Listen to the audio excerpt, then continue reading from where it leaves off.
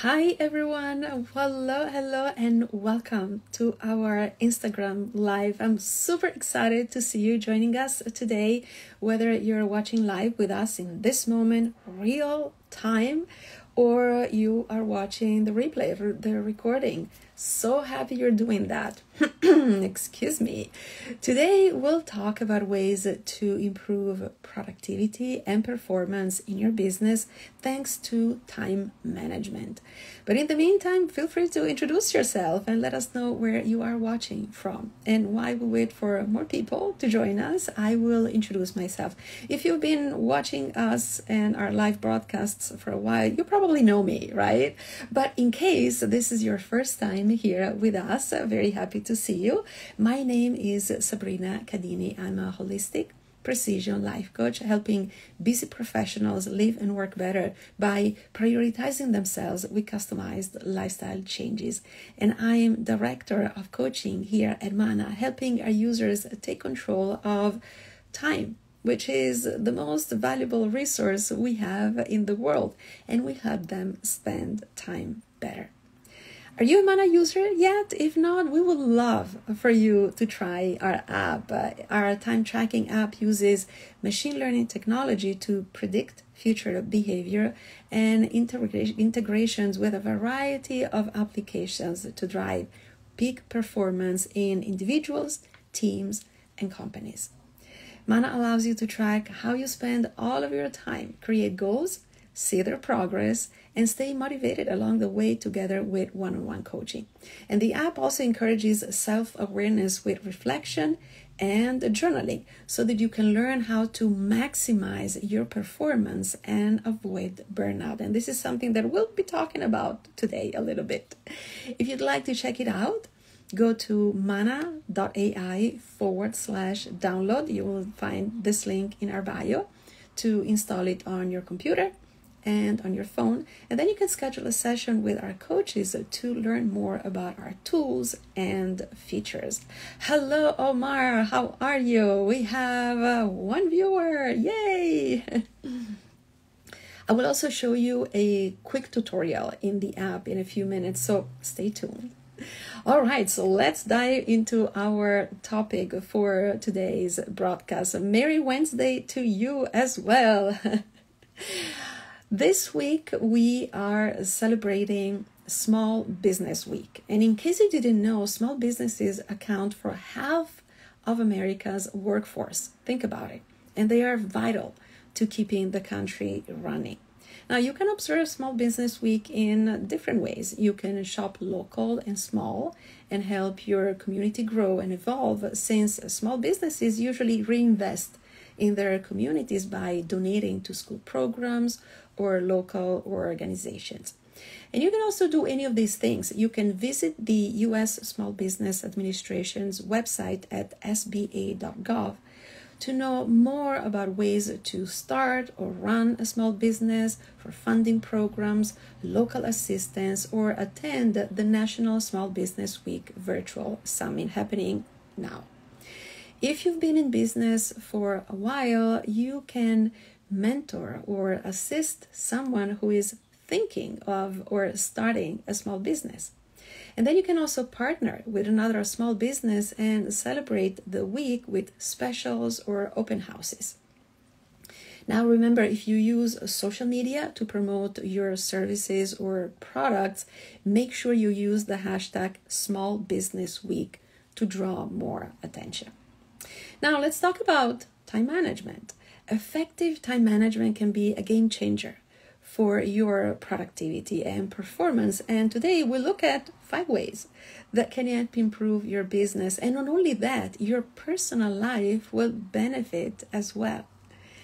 So, number one, use an app to track your time. And of course, we are biased here, right? Using a time tracking tool such as our app, Mana allows you to see where your time is going so that you can identify time wasting activities that are taking up too much of your time and not contributing to your business's success.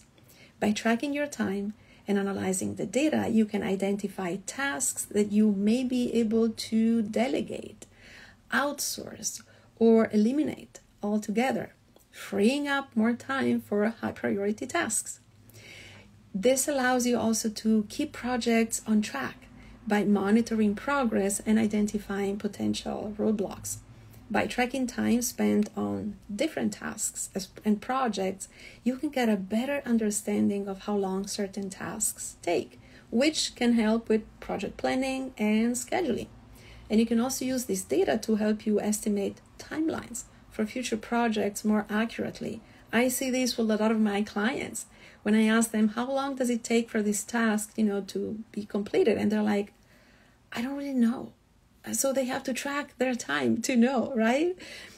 You can also um, use an app like our app Mana to track your time so that you can increase accountability among team members, which can lead to improved performance.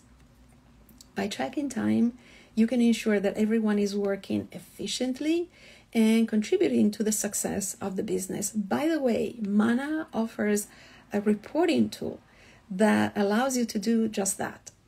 And additionally, time tracking can help encourage employees to stay focused and avoid distractions during work hours. So, this was a huge tip one. now, tip two use a tool to increase efficiency.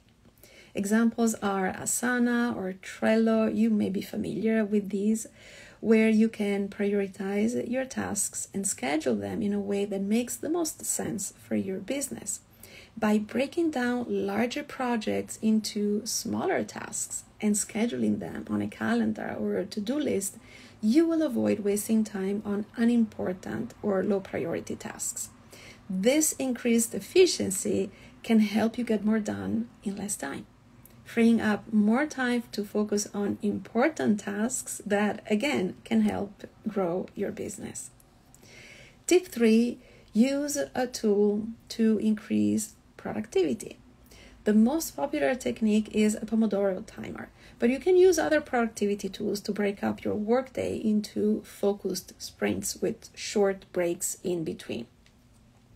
Additionally, try to eliminate distractions as much as possible during your workday, such as turning on notifications or working in a quiet location.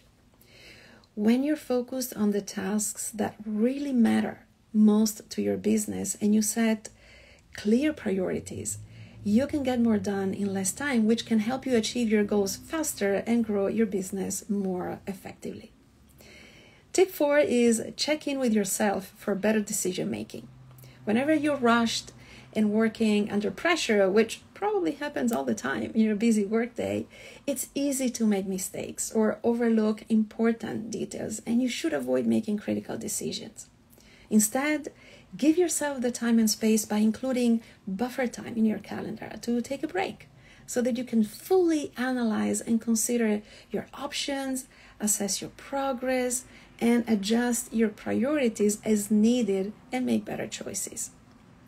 And tip five, last but not least, actually, this would be my top tip set aside time daily to reduce stress.